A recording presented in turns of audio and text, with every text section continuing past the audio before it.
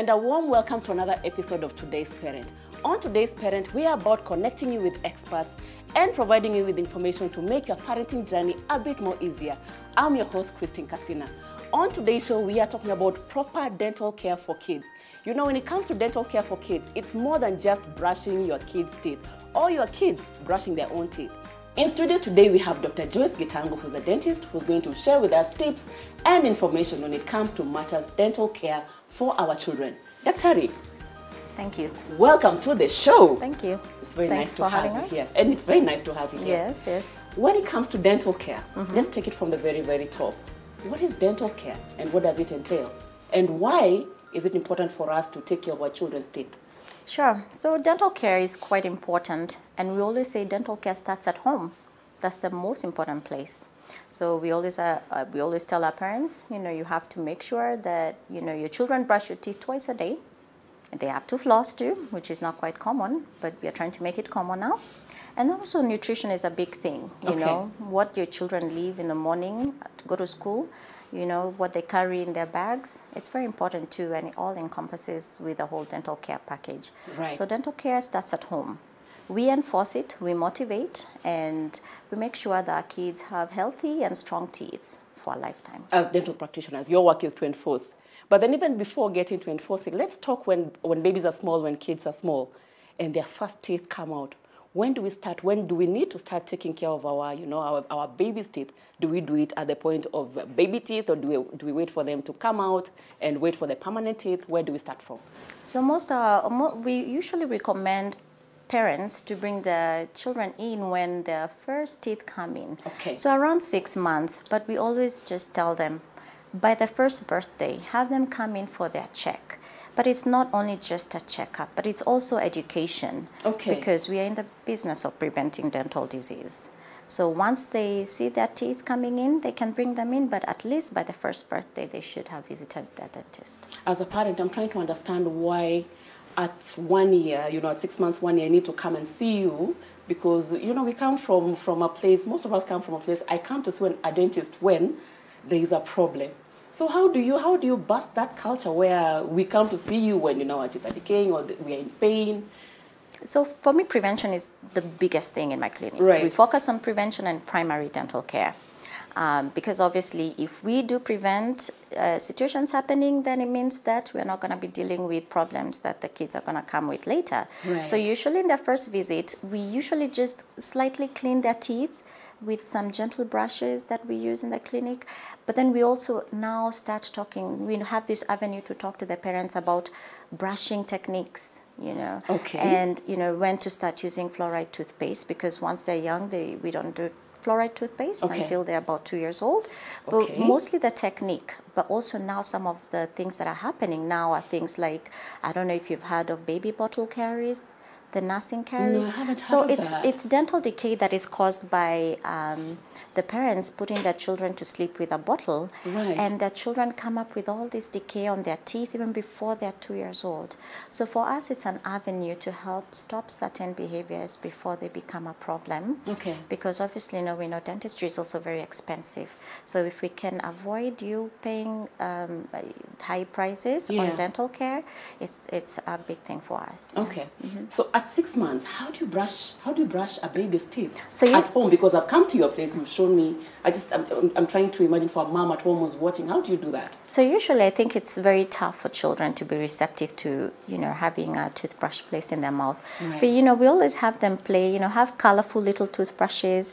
That we do have infant toothbrushes. There's toddler toothbrushes, and we have child, child toothbrushes. Okay. And all of them um, are specific for children at certain stages. Okay. But usually, nice. You know, they look at them. They're like toys. They can play around with them, so they become familiar with them.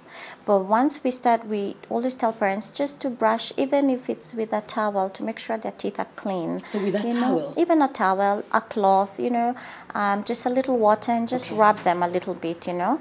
And then when they're a bit older and they have more teeth in their mouth, they can use like little infant brushes. Okay. Um, they're very tiny little heads. Are they sold in the supermarket? Yes, they do have them, um, but usually we do stock them just for convenience Right. for, our- for our parents. Um, then usually we also instruct how because there's a technique. Most kids when they come, I mean, they're so little, you know. So we have a technique which is called lap to lap, and we have the child lie on our laps while they look at the mother, and we are able to brush their teeth. Okay. So it's it's it's usually not the, in, you know a smiley affair. The kids will cry, but also we're starting them you know on a good slate with their teeth. Okay. You mentioned something very important the connection between dental care and nutrition. Yes. Are there things we can do better to, you know, what we are feeding our children so they have better, you know, better teeth? Yes. Um, so I always advise my parents to always look at the nutritional facts on what they're giving their children. Nowadays, there's like an overload of things on the shelf that are very high in sugar. And some of these things parents don't know, and sometimes we shock them. You know, some yogurts, some juices that you know the parents give their children daily have enormous amount of sugars. You know, for example, some packeted juice have almost five teaspoonfuls of sugar. Wow. I'm sure you wouldn't have five teaspoonfuls No. in your sugar, I mean, your coffee or No. your tea. So that's what we're giving our children, you know, and it's on a daily basis. I mean, of course, we have those, you know, once in a while days out, we take them, we can Yeah. indulge, you know, Yeah. of course, on moderation. But then now there's a lot of junk food that we are giving, the convenience foods, you know, which are actually affecting their teeth, and we can really see it. You know, you've mentioned about um, what we are feeding our children. The one thing, for example, something you mentioned, yogurt. When I give yogurt, I have this satisfaction that I've given my child something healthy. So, is there a way, you know, even when it comes to something as basic as yogurt, do we then need to gravitate towards more natural yogurt or more natural juices? Yes, um, with juices, I always say just juice at home. You know, just get some oranges, juice them, apples, just juice them. You know, we can make juices at home now. Um, we have now equipments to do that, right? That is but true. even juices you can squeeze with your hands and give them. You you give your child that. You know, these other ones have additives of sugar on them, so we don't even know how much. Sometimes not all of them have the facts in them. Yeah. But yogurts also, we always recommend that the natural yogurt. The natural yogurts are, are not they're, they're not as bad as parents really think Okay. they are. But if you feel like you need to sweeten them, put fruits in them. Put some raspberries, put some bananas, put something that your child loves. If it's if they love mangoes, give them mangoes. So you can also give them yogurt, healthy, but also add something in it so you can quote unquote sweeten them. Right. Yes. Those are very useful tips. Yeah. So, Dr. Gitangu, Yes. why is dental care for kids important? Well, you know, first of all, you know, we want to make sure that their teeth and their gums are healthy. But people always tell us that why do we need to do anything to kids' teeth? They're going to fall out anyway. These little teeth are important anchors in their little mouths because there are teeth that are going to be coming there. And we don't want to lose those baby teeth because once you lose baby teeth early, then that means the teeth that are coming in, they won't be coming in into their proper place. Right. But also, you know, decay really affects children in school. They can't focus, they can't eat properly. And when you can't do that, you can't really thrive as a child. So it's very important not to ignore those things. We have a lot of parents are like, oh, it's just decay. The teeth are going to fall out. Yeah. You know, why do anything? It does really affect these children. Maybe they're not able to communicate it, go communicate Yeah. properly, but they do affect them. And when they do call and tell us, oh, the child cannot sleep at night, this child has been suffering for a long time. Yeah. And we've seen a lot of children improve in terms of how they're doing in school because they've gotten proper dental care. They've been able to resolve all their their feelings. They've been done. But also, we don't want to wait for the more expensive treatments. You know, um, the baby root canals or the crowns, which are more expensive. Yeah. You know, why don't we start from the very beginning? Just coming in, we teach you how to brush. We do prevention things like doing fluoride treatments Yeah. you know, and we do sealants, which we which which protect the teeth from getting decay. So it's very very important to take care of those little chomp chomps. Can you imagine the effect on their self-esteem? The one thing we we think, I hope we think about that as well. Yes, it can be a real, real issue. Exactly, exactly. Because you can't smile, and there are people over a long period of time because they used to smile in a particular way when Exactly. their, their teeth are decayed. Yes. it just affects how they look at themselves and how they, they feel other people perceive them. Exactly, and also decay does cause your mouth to smell. So you know, you you you you're running in school, and your other kids are calling you stinky mouth. Yeah. You know, and you brush your teeth in the morning, but it's that decay that is sitting in there that's causing the stinky mouth. That is definitely going to affect their self-esteem. Yes, it will. Sure. You mentioned about nutrition. The one thing that we don't think about as well is Mm-hmm. where our water comes from. Yes. So where I'm coming from with that is I, my son, Mm-hmm. the one issue that we have struggled with is fluorosis. Yes. When we're having this water in our home coming through, we never thought about where does this water come from Yes. because we look at it, it's clean water. Yes. And borehole water is a major, major cause of fluorosis. Yes. If you could just um, share some more on that. Yeah, so let me explain what fluorosis is. Fluorosis is um, a medical, a dental condition that affects the tooth. And it does affect it intrinsically, it's more systemic. Um, and it's caused by fluoride particles that are in water, but mostly in areas with boreholes.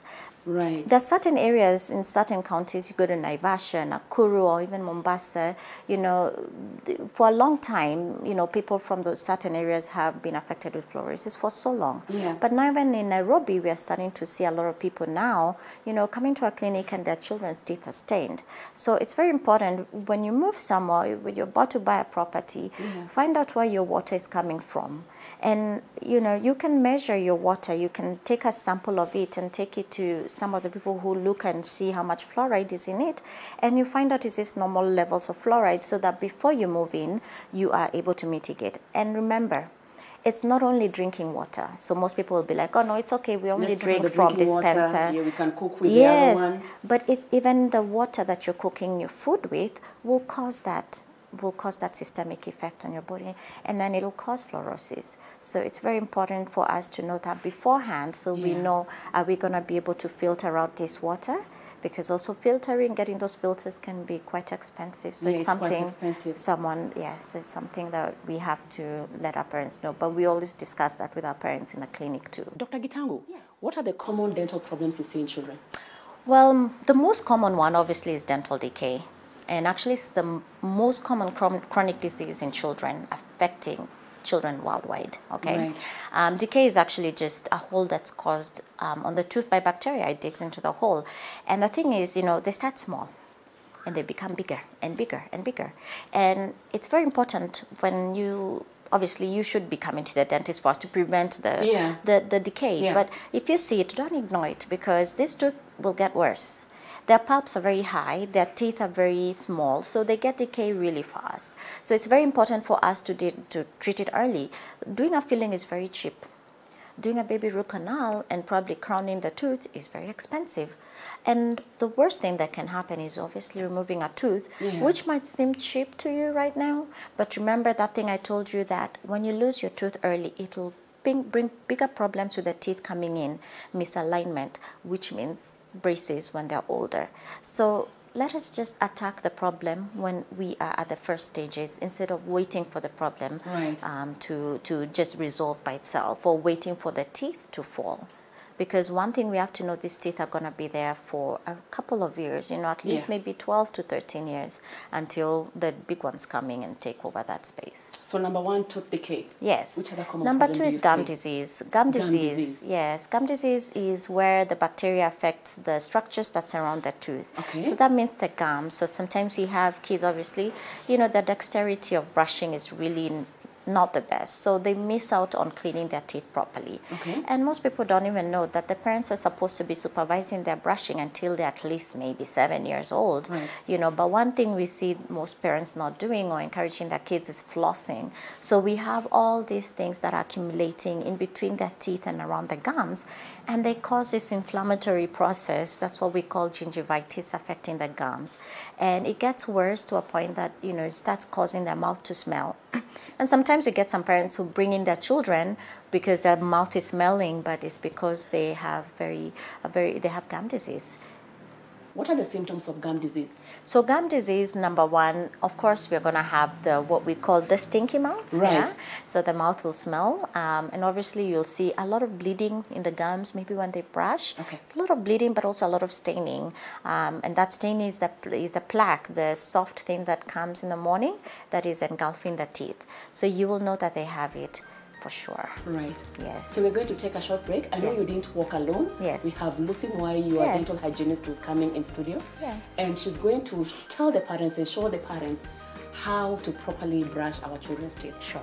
Thank you for being with us in this particular segment. Yeah. And when we come back from the break, we are going to have dental hygienist Lucy Mwai will take us through how to brush our children's teeth. Don't go anywhere.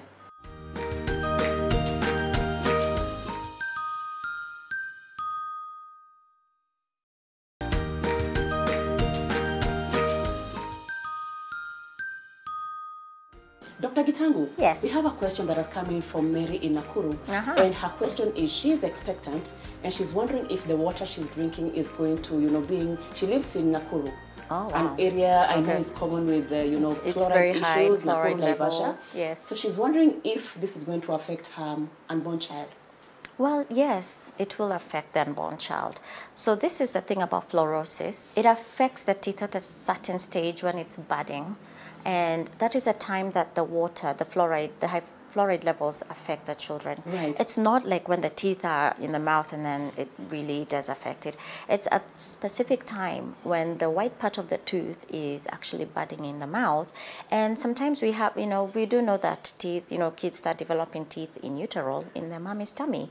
So yes, so if a mother who's pregnant is um, in an area with very high levels of fluoride, it's best for them to make sure that they are either they, they measure the water and make sure that it's the optimum levels and if it's not that they need to do whatever they need to do to filter the water because it, it may affect the child yes Thank you for sharing it's that. a good question Dr. Gitangu, thank you so much. yes And you know, just for your time and coming through to share all these tips, Yes. I know they're going to be very useful to the parents who are watching. Right. And for your team to also make time to come. We Yes. thank you and the team for coming through for this show. we thank you for having us Thank you we really much. had fun Thank you very much. yes Lucy, welcome to the show. Thank you. On today's show, we are talking about proper dental care for kids. Mm-hmm. And earlier on, we had your colleague, Dr. Joyce Gitango, who took us through, you know, the importance of proper dental health care, especially mm. for kids. And what's important for us to learn from you as a dental hygienist. Mm-hmm. First of all, what does a dental hygienist do? Okay. Before you take us through how to brush our children's teeth or how our kids mm-hmm. can brush their teeth. Okay. Um, a dental hygienist is a dental professional, and what they do is uh, mainly deal with the oral preventive care Right. in terms of you know, educating patients, creating their awareness about their oral health. Uh, we do clean the teeth, remove plaque, tartar, and uh, do fissure sealants as a preventive measure for the teeth. Um, and mainly cleaning and uh, scaling the teeth, removing the tartar. Okay. Yeah. So how how many times are we supposed to brush our teeth? Children, adults, is it the same? Is it different? Good question. It's the same. You're supposed to brush after every meal, but sometimes it's not possible depending on what you're do, doing during the day. So we say at least two times, morning and night. Okay. You should not go to bed without brushing your teeth. Very important. So we shouldn't go to bed without brushing our teeth. Yes, morning and night, two times. Morning and night. Yes. Okay. I wanted to ask you when it comes to brushing our teeth, at what point do we, or how are we supposed to? You've talked about, you've mentioned about uh, flossing. Yes. You know, we hear it being thrown here and there. I don't know if we do it. Should children do it? How is it done? Even before we get to just understanding the terms, we know what brushing is Yes. before we get to the routine of how it's done. Yes. What is flossing? Flossing is um, basically a technique of removing food debris between the teeth. Okay. and on the gum lines, uh, like where the teeth and uh, both teeth meet, Right. meet at the contact area.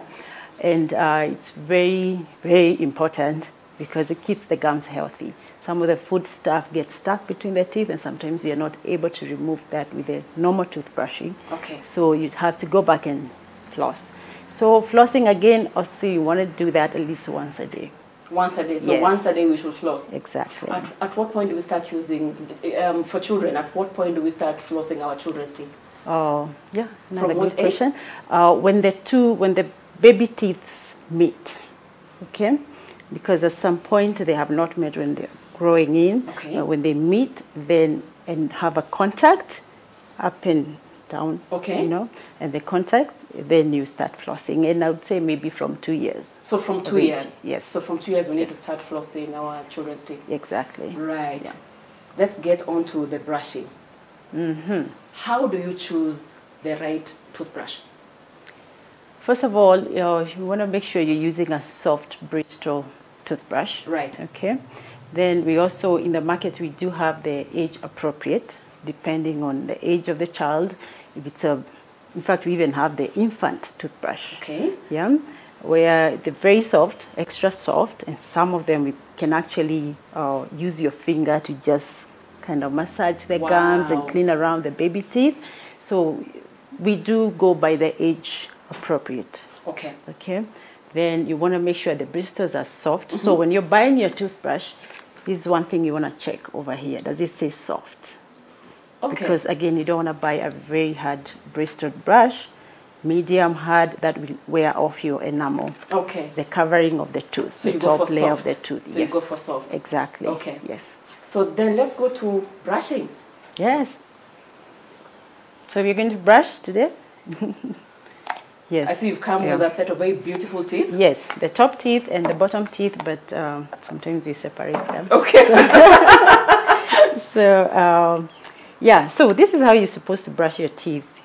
Uh, you want to use the right technique Okay. to brush the teeth because you just don't want to go in, in and out, Okay. you know, like uh, back and forth because sometimes we end up wearing off the, the gum line. right. Okay, and so the gum recedes and the teeth can become very sensitive. So it's very important uh, the way you brush your teeth and the technique you use. So we recommend the circular motion, and how you want to do it is go all the way back to the last tooth. Is that start how? behind is there. that- is that how we should hold our brush? No, I'm yet to show you Okay. that. so this is how you, maybe I'll better do it, you know, using myself as an example. Okay. So you want the toothbrush, the bristles facing kind of like 45 degrees angle up, facing on the, on the gum line, okay? And then you start from the very last tooth, Okay. moving forward with a circular motion. Okay? And you give each tooth like two strokes as you move forward all the way to the back. And then the same thing in the back of the tooth. Okay. So ideally we're brushing outside here and behind the, the teeth. And then again we also want to brush the, the, the chewing surface. Same circular motion. No, with the chewing surface you just go back and forth. Back and forth. Yeah, Okay. exactly. So you're brushing three surfaces the outer layer, behind the tooth, and the chewing surface of the teeth. Right. So you do that from the top teeth all the way to the back, behind, all the way to the back. Then you drop down to the bottom teeth here, right? So you want your toothbrush again facing down and touching the, the gum line Okay. at an angle 45 degrees. Same thing, circular motion all the way round, coming out to the end, then behind the teeth. We call it the inner wall of the tooth, and then the chewing surface right there. Yes. How long should it take when I'm brushing my teeth? Is there like a minimum time? Yes, A minimum time I should take brushing my teeth? at least two minutes. Minimum two minutes. Yeah, if you're brushing for less than two minutes, then you're not doing a perfect job. Okay. yeah.